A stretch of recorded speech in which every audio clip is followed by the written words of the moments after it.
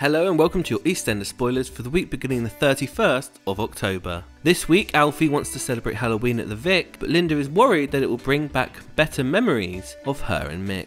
That doesn't stop Alfie though, who throws a party anyway, and Linda ends up thanking him for making her have a good time. Kat ends up furious at Alfie when he lets the kids bunk off school, and later he gets stuck on the Vic roof when he's meant to be collecting them from school. At the end of the week, Mick and Janine arrive home, and Mick's annoyed to see that Alfie is working behind the bar. Mick and Linda share a little moment together, realising that there may still be a spark between them both. Jean gets jealous after Harvey starts online dating with the help of the residents of Walford and is left wondering if she may still like him when he tells her that he has a date lined up.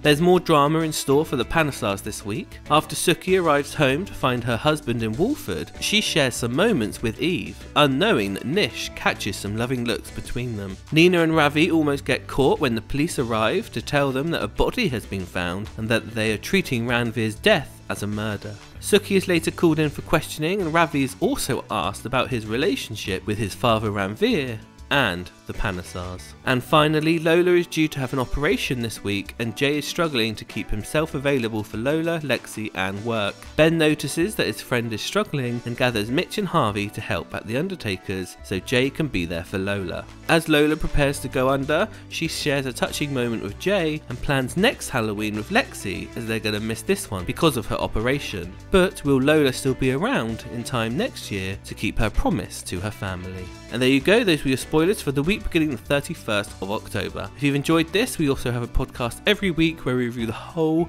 week of EastEnders in full. So make sure you subscribe to the channel, like this video, and give me a comment below and let me know. What are you looking most forward to seeing next week?